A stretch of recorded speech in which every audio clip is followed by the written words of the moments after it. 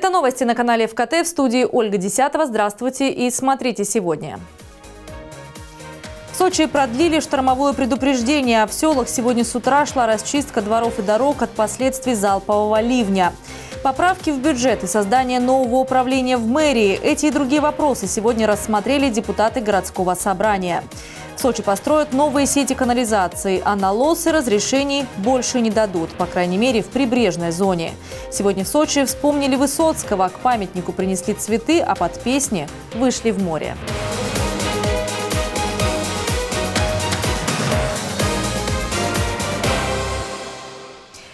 Штормовое предупреждение объявлено на Кубани на ближайшие два дня. Вениамин Кондратьев поручил главам районов оповестить жителей отдыхающих края о надвигающемся на регион циклоне с дождями, грозами и штормовым ветром.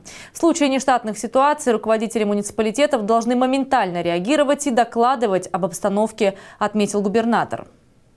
Оперативные службы региона уже перешли в режим боевой готовности. Мы готовимся к возможным локальным подтоплениям в предгорных районах края. Кроме того, есть вероятность возникновения смерчей на Черноморском и Азовском побережье. Удар непогоды уже принял на себя Краснодар. В Сочи ввели также режим повышенной готовности, а в Азовском море возможны волны высотой до 1 метра. В Сочи штормовое предупреждение будет действовать до 29 июля. Залповый ливень прошел на курорте в ночь со среды на четверг. Основной удар стихии пришелся на Лазаревский, частично центральный и Хостинский районы. В Лазаревском были подтоплены несколько улиц. К утру вода ушла. В Барановском сельском округе по ручью Безымянный сошел сель. Сейчас он расчищен. Ночью был зафиксирован резкий подъем уровня воды в четырех реках. Однако из берегов они не вышли. Грязь и камни нанесло во дворы по улице Речной. Местные жители сначала спасали имущество сами, потом подоспела помощь. Пожарные приехали, то, то время приехали, молодцы ребята, э, начали качать. Нормально. МЧС тоже приехала, молодцы. Ущерб сегодня оценила городская комиссия. В Барановке состоялся подворовой обход. На территории где-то пяти домовладений э, зашла вода. Вот, в данный момент практически все последствия ликвидированы. Здесь осталось около 50 метров заиленной территории вычистить. Работают э, три погрузчика, четыре самосвала, сотрудники администрации, сотрудники муниципальных предприятий. Информации о пострадавших от непогоды в Сочи нет. Ветер повалил 9 деревьев, но все они оперативно ликвидированы. Движение транспорта не останавливалось. В Сочи продолжает действовать штормовое предупреждение и режим повышенной готовности. Тем не менее, уже утром город пришел в себя после непогоды. Несмотря на непривычно дождливый и холодный июль, курортный сезон продолжается. Глава региона сегодня проверил, как чиновники на местах выполняют его поручения. Вениамин Кондратьев провел традиционный час контроля. В совещании приняли участие вице-губернаторы, руководители министерств и ведомств, а по селекторной видеосвязи главы районов. В мае этого года на координационном совещании руководитель края заявил, что пляжи, находящиеся в аренде у санаториев, должны быть открыты для всех, а не только для тех, кто в них отдыхает. Однако от жителей и гостей региона до сих пор поступают жалобы. В некоторых районах проход к морю платный. Такую ситуацию губернатор назвал недопустимой. Пляж море, оно принадлежит всем, всем жителям края, страны нашей, всем, кто приезжает отдыхать, и, конечно, местным жителям. А у нас какое-то странное понимание, взимание плат. И если даже пляж у кого-то в аренде, то, конечно, деньги могут взиматься за лежаки, за зонтики, за все что угодно. За услуги, которые на пляже оказываются, за услуги – но не за проход на пляж. До 1 июня в муниципалитетах должны были ограничить въезд автотранспорта на набережные и пляжи. Однако поручения губернатора выполнили не все. Например, в бухте Инал и на пляже Приморском в Туапсе, а также в селе Агой машины могут свободно проехать к морю. Более того, за проезд на пляжную территорию берется плата, как в станице Голубицкой или в селе Дивноморском. Вениамин Кондратьев отметил, что такие ситуации совсем не красят курорты края и поручил профильному министерству разобраться каждом конкретном случае. Как улучшить инвестиционный климат в крае, обсуждали в Краснодаре. Глава Кубани провел отдельное совещание, посвященное этой теме. На Кубани реализуется более 660 инвестпроектов. Их успешное завершение зависит от слаженной работы многих структур, отметил Вениамин Кондратьев. И речь идет не только о краевых ведомствах, но и о ресурсоснабжающих организациях, налоговых, контролирующих и правоохранительных органах, а также судебных, которые сегодня были приглашены на совещание, продолжат наши краснодарские коллеги.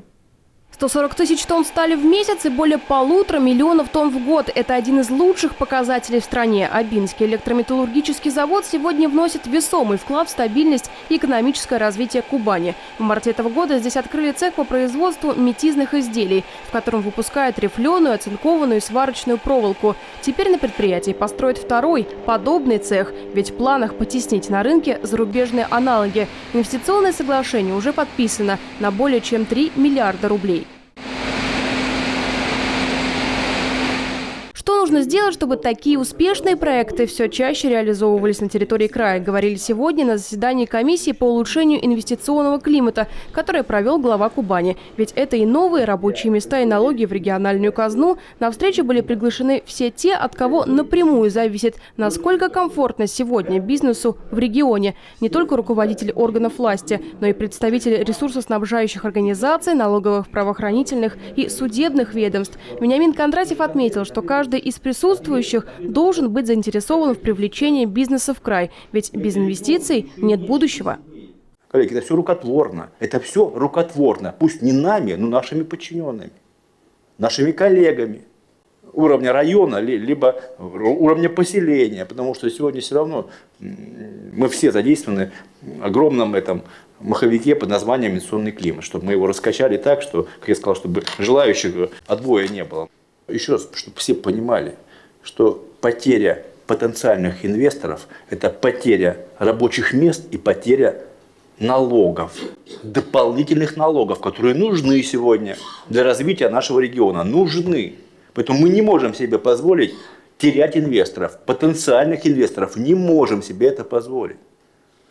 Потому что для нас очень дорого каждое рабочее место. Сегодня на Кубани реализуется около 660 инвестпроектов на общую сумму более полутора триллионов рублей. Инвесторам оказывается необходимая поддержка, ведь край открыт для новых бизнес-идей. Однако нередко сами предприниматели указывают, где происходит пробуксовка. Вице-губернатор Василий Швец рассказал, что по каждой проблеме занимаются отдельно. Например, удалось сократить среднее время регистрации юридических лиц с 10 до 5 дней. Также уменьшить планируется и сроки регистрации прав собственности. Сократить его мы тоже анализировали, можем и думаем за счет, опять же, дополнительного привлечения возможностей мобильных сервисов, смс-оповещения готовности документов для того, чтобы люди просто не ждали, потому что зачастую документы готовы намного раньше, чем, чем э, стоит срок, э, который указан в той же самой платежке МФЦ. Однако все чаще договориться между собой не могут бизнес и естественные монополии. Почти 40% предпринимателей жалуются на невозможность подключения к энергоснабжающим сетям. Для предприятий важны сроки, а также лимиты, которые выдают организации. Сегодня на совещании представители бизнес-сообщества на конкретных примерах рассказывали губернатору, почему тот или иной проект не может вовремя запуститься.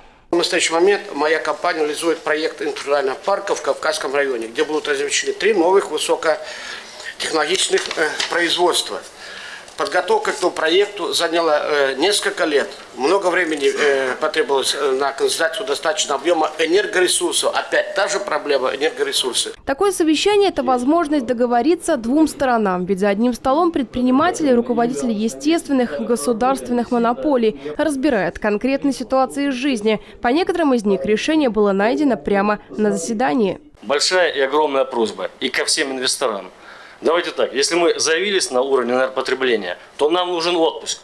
Нам нужно, чтобы этот график выбирали и потребляли на то, что заявили. Еще один вопрос, из-за которого невозможна реализация крупных инвестпроектов в Геленджике, Славянском, Крымском и Темрюкском районах – дефицит газа. Там до 2022 года запланирована реализация более 100 проектов. Также в Северском районе отложили строительство тепличного комплекса так как ресурсоснабжающая организация затягивает с решением проблемы в предоставлении мощностей. Сегодня такие примеры не раз звучали на совещании. Вениамин Кондратьев поручил своим заместителям собрать все планы реализации инвестпроектов края и синхронизировать их с намерениями сетевых компаний. Реально мы теряем тот инвестиционный потенциал, который можем э, реализовать. Теряем. На самом деле, то мы к газу не можем подключиться. то электричество не можем подключиться, то еще у нас там какие-то ограничения. Это все, понятно, монополии, естественно. Коллеги, но естественные монополии, даже если они федеральные, они должны жить нуждами края, проблемами края. Не только своим алгоритмом и регламентом, который у них есть. Знаете, тут Райкина вспоминаешь, когда он говорил про дефицит.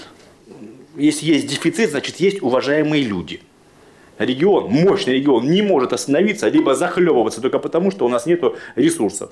Лимитов нет. Либо газа, либо энерго, либо, либо еще каких-либо. Но не можем мы так.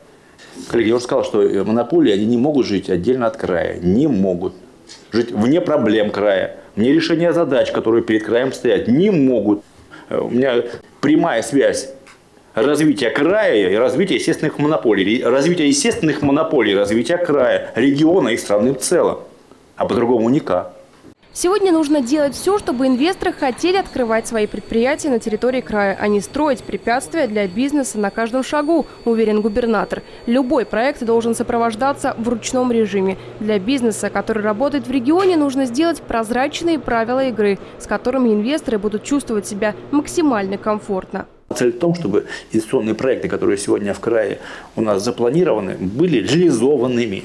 А это, конечно, инструментарий, который позволяет прозрачно инвесторам ощущать, в том числе и свое присутствие в нашем крае с точки зрения реализации этих инвестпроектов, прохождения документов любых любая запятая, которую кто-то ему, неважно, контролирующие, фискальные, э, муниципальные, краевые органы власти делают, она должна быть э, тут же на контроле. С точки зрения объяснения, почему запятая, почему остановка, либо приостановка движения э, того или иного документа, который позволяет ему как можно быстрее начать или приступить к реализации этого инвестпроекта. И, естественно, чем быстрее приступить, тем быстрее он его завершит.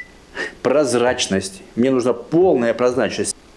В течение недели мне нужен понятный для инвесторов, для нас, для общественников инструмент, который нам позволит максимально сделать еще более привлекательным наш инвестиционный климат.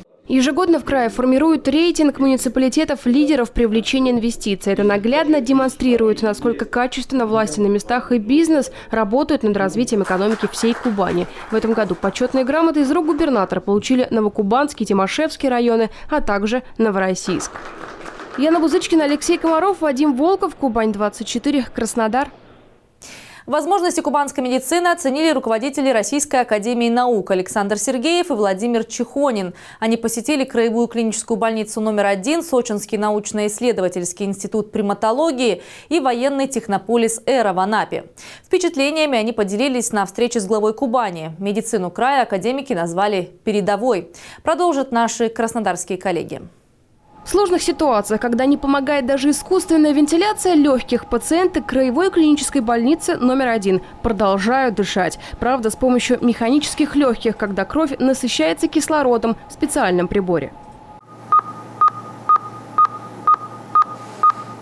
Аппарат ЭКМО занимает свое место в Центре анестезиологии и реанимации клиники. Именно отсюда начинает свое знакомство с кубанской медициной высокопоставленные гости. Экскурсии им проводит лично главный врач Владимир Парханов. Пока прибор сохраняет жизнь больному, врачи борются за его выздоровление. Только за прошлый год таким реанимационным методом удалось спасти 27 человек, и 9 из них – дети.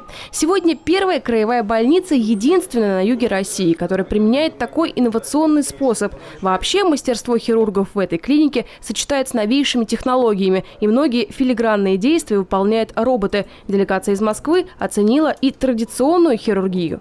Все, что сверху, вот это опухоль вместе с легочной тканью, ага. все будет эвакуировано, удалено и вытащено. А, а, злокачественно. Руководители РАН также приняли участие в конференции «Достижения медицинской науки в Краснодарском крае». По ее итогам отметили, Кубань не просто передовой регион в области здравоохранения. Вместе с высококачественной медпомощью развивается и научное направление. Здесь имеет место многопрофильная больница, где есть врачи всех специализаций. Но кроме того, это еще и НИИ. То есть здесь э, занимаются и трансляцией э, современных достижений науки в практику. И вот такая комбинация комбинация, по-видимому, уникальна. Еще один момент э, связан с тем, что действительно не, э, это не такого регионального подчинения.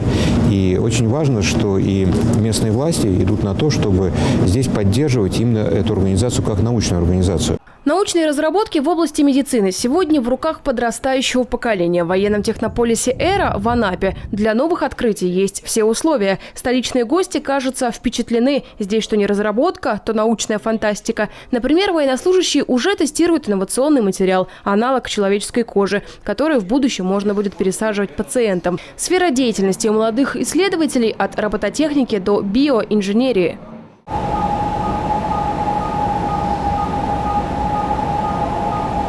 Впечатлениями от посещения медицинских центров делились на встрече с главой Кубани. Академики РАН отметили высокий уровень развития медицины в крае. В свою очередь, Вениамин Кондратьев акцентировал, что для региона роль науки всегда была велика. И сегодня, учитывая цели национальных проектов, ее значение кратно возрастает. Для нас сегодня принципиально важно, чтобы э, медицина, которая в крае есть, она была доступна всем э, социальным слоям населения. Вот э, это тоже стратегическая сегодня задача. Но и наука, о которой мы в целом не можем сегодня говорить, конечно, должна быть прикладной. Она должна иметь прикладное значение, потому что здесь не только во главу угла ставится продолжительность жизни, качество жизни, о чем мы говорим. Сегодня в целом нужны результаты научно-технического прогресса. Сегодня нужен прорыв а, в сфере и экономики, и в других иных сферах жизнедеятельности. У вас уникальная модель. У вас, с одной стороны, широкопрофильная такая клиника, а с другой стороны, э, наука, которая по, по ряду направлений действительно является такой выдающейся в стране. И вот я бы хотел попросить, чтобы вы именно вот этот формат поддерживали, потому что этот формат – достаточно уникальный, но не исключено, что именно вот в таком формате и наиболее такие интересные результаты по трансляции достижений наук, наук в практику будут достигнуты. В кубанской медицине давно применяются современные технологии. В Краевом центре делают уникальные операции. За качественным лечением в Краснодар приезжают со всей страны. Вениамин Кондратьев также отметил, что сегодня упор пытаются сделать и на профилактике болезней. В станицах и поселках строятся центры здоровья и офисы врачей общей практики. Вы увидели кубанскую медицину, ту медицину, которая сегодня тоже отчасти пусть не в полном объеме высокотехнологичная, но явно уже на пути к этому. И мы сегодня максимально прилагаем усилия, чтобы наша медицина стала высокотехнологичной хотя бы для начала в краевом центре.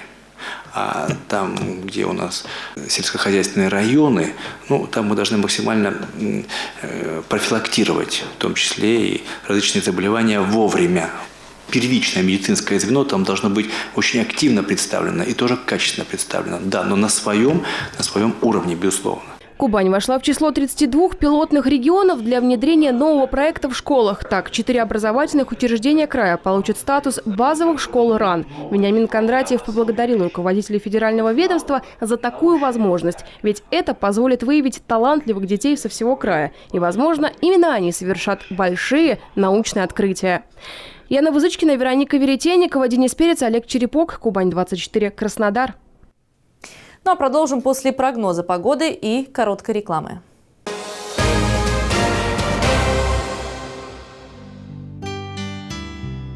Двадцать шестого июля в Сочи облачно, возможен небольшой дождь. Температура воздуха ночью плюс 19, плюс 21. Днем 23-25 градусов выше нуля.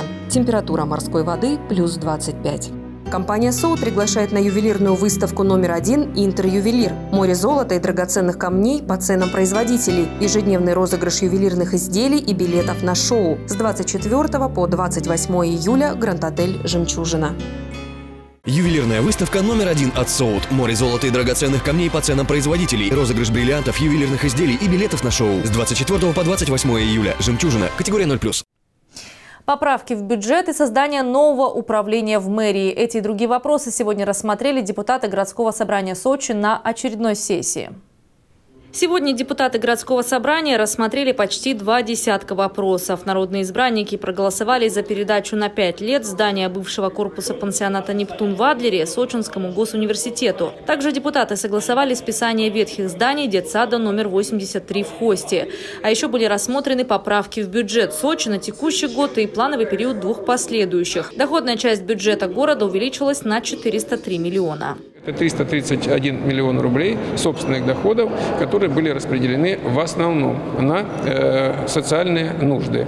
Э, в первую очередь это образование в пределах 26 миллионов рублей на э, ремонты наших спортивных площадок при школах. На втором месте это вопросы, которые связаны с культурой. Это и уровень, в первую очередь, чтобы поддержать уровень заработной платы наших учреждений культуры. Кроме того, сегодня депутаты поддержали вопрос создания создания в мэрии города управления проектной деятельности. Новое подразделение будет контролировать реализацию национальных проектов.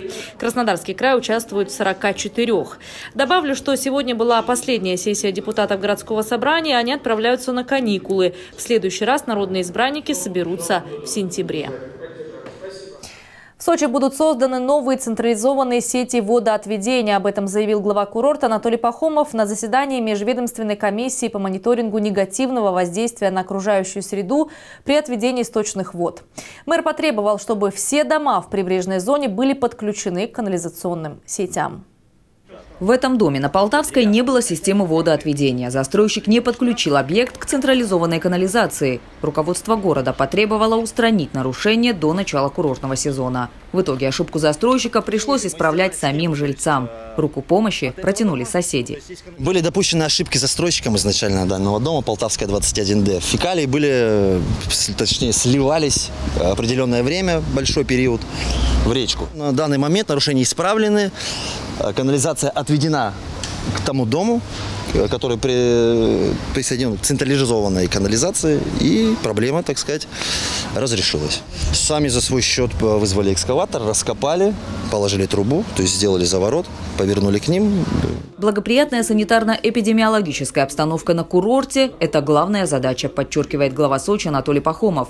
Меры, которые были предприняты властями города по борьбе с незаконными сбросами стоков, дали свои результаты. Благодаря активному мониторингу и наказанию тех, кто нарушал закон, море в Сочи чистое. Однако работа продолжается, и в прибрежной части города ни о каких лосах речи быть не может. Мэр потребовал не допускать установку новых локальных очистных сооружений. Исключение может быть только сети, э, то есть только строительство э, лосов в горах. Не более того. Это первая задача. Ее просто нужно с сегодняшнего дня четко выполнять. Если кто-то будет по-другому себя вести, в том числе водоканал, то есть будете выдавать, не дай бог, технические условия на лосы, мы будем понимать, что это кому-то надо было. И водоканал должен, э, соблюдая закон, но быть э, совершенно беспощаден в этих вопросах. То есть вопрос один. Если нарушил человек, все, надо отключать от воды. Лосы для Сочи были временной мерой. Сегодня же городу необходимо совершенствоваться и дальше. Тем более, что есть случаи, когда собственники во время обильных осадков сливают стоки на рельеф. Чтобы улучшить эпид-обстановку в городе, были созданы рабочие группы по выявлению незаконных сбросов. В составе каждой – представители администрации, Роспотребнадзора, водоканала, водостока и полиции. Я думаю, что уже жители города Сочи э, сформировали в своем сознании, что это делается исключительно для их здоровья. Мы обязаны просто создать условия для людей, чтобы они жили без болезней. А чтобы жить без болезней, конечно, прежде всего нужно соблюдать экологические и санитарно-эпидемиологические требования. Поэтому я требую, чтобы были жесткие меры, и я требую, чтобы водоканал соответственно реагировал. В том числе, повторяю еще раз, задача задач, которую мы ставим перед собой, это строительство новых сетей. Мэр подчеркивает, любое разрешение на строительство в городе должно быть подкреплено тех условиями на прокладку канализационных сетей. Сегодня в Сочи идет работа над национальными проектами. Все они нацелены на улучшение качества жизни. И главный критерий – здоровье людей, отмечает Анатолий Пахомов. К слову, улучшение экологической обстановки в Сочи отметила и главный санитарный врач России Анна Попова. По ее словам, вода в Черном море безопасна для купания. Такой результат – показатель эффективности борьбы с незаконным сбросом стоков. Инга Габешия, Михаил Дубинин, телекомпания «ФКТ». В Сочи разыграют Кубок Высоцкого. В акватории парусного центра «Югспорт» начались соревнования в рамках Всероссийской парусной регаты. Кубок Высоцкого разыгрывают с 2000 года. Ежегодно 25 июля в память о Высоцком в море выходят десятки яхт. Я первый раз выхожу в море под песню Высоцкого. Мне кажется, погода будет наилучшая, потому что хороший ветер, небольшая волна. Наилучшая для меня. Э, ну, я знаю э, э, привередливые кони, э, скалолазка, ну и там такие более горные его песни. Я просто увлекаюсь горными лыжами и просто вот когда катаюсь, слушаю. Этот спортивно-творческий проект инициировал друг Высоцкого Всеволод Ханчин. Его поддержали такие города, как Самара, Тольятти, Санкт-Петербург, Владивосток и Сочи. Кубок проводится во всех классах крейсерских яхт и швертботов. Так что соревнования организованы как для юных яхтсменов, так и для взрослых. Вот уже второй год подряд в гонке участвует экс-солист группы «Белый орел» Александр Ягья. Живя в Москве, э, приехать на море наше, так скажем, черное, да, сочинское э, море, которое ну, всегда, наверное, для каждого человека является какой-то отдушиной. Мы, э, как бы человек где бы ни жил, он должен приехать, мне кажется, в летом в Сочи. Это обязанность каждого человека. Ну а поучаствовать в такой замечательном событии, как яхта, посвященная Владимиру Семеновичу Высоцкому, это всегда приятное событие. Сегодня первый гоночный день, впереди еще два дня борьбы за переходящий кубок в виде небольшой стелы, украшенной грифом гитары и цитаты из песни Высоцкого. Есть зачет, есть судьи, все серьезно, то есть гоночная инструкция, судейство, протесты, все как, все как всегда. А в это время возле концертного зала фестиваля собрались поклонники таланта Высоцкого. Они возложили цветы к памятнику музыканту и поэту и исполнили его самые известные песни. Если друг оказался вдруг, и не друг, и не враг, а так, Высоцкого нет уже почти четыре десятка лет, но слова его песен многие помнят наизусть, любят и ценят его творчество на все времена. Он хоть и критиковал нашу жизнь, как говорится, но он правильно все говорил. Так это тоже надо уметь сказать и не побояться. Он отвечает на все наши вопросы правильно, нашего времени, наш человек. Поэтому мы его уважаем. Дух народа он понимал и поддерживал. Он им сегодня очень нужен со своими песнями, а еще нужнее был бы живой. Бронзовую фигуру Высоцкого здесь установили 7 лет назад. Памятник специально не стали поднимать на постамент, чтобы поклонники Барда могли постоять рядом со своим кумиром, который как будто на минуту остановился в парке. Елена Овсецина, Ольга Десятого, телекомпания ФКТ. Ну и на этом я с вами прощаюсь. Мне остается добавить, что все новости уже на нашем сайте fkt.com. Смотрите нас также в кабельных сетях «Радист» на 56-й кнопке и телепакетах «Билайн» на 76-й. Ну и в социальных сетях в группах «Говорит Сочи», в Фейсбуке, Инстаграме, Одноклассниках, Телеграме и в сообществе ВКонтакте. И заходите на наш канал в Ютьюбе «Говорит Сочи». В студии была Ольга Десятого. Всего доброго и до встречи в эфире. Одежда ведущей предоставлена мультибрендовым магазином российских производителей «Сезоны». Это новые тенденции, качественные материалы и безусловный комфорт. Найдите свой стиль по адресу улица Парковая, 17.